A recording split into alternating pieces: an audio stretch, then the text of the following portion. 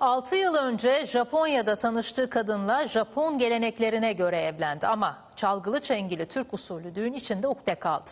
Oğlunun sünnet törenini fırsat bilen Fatsalı Emrah Coşkunca Japon eşine düğün sürprizi yaptı.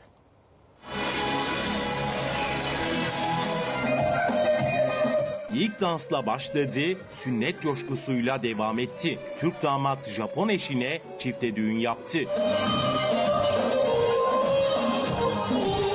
32 yaşındaki Emrah Coşkunca ordulu. 6 yıl önce Japonya'ya çalışmaya gitti. Orada 29 yaşındaki Satomi Imamura'ya aşık oldu. Bu benim balım Japon'um.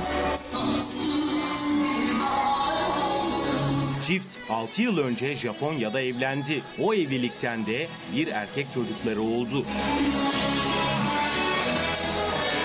Ancak kendi memleketinde çalgılı çengeli bir düğün yapamamak Emrah Coşkunca'nın içinde ukde kalmıştı.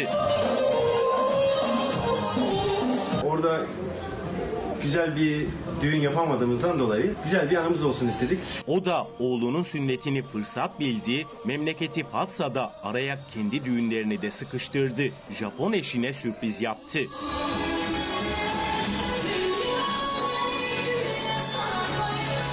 Çift hem çocuklarına sünnet töreni yaptı hem de nikah tazeledi.